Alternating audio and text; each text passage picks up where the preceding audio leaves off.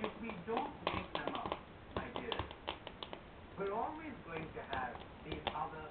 minor ills of hunger and war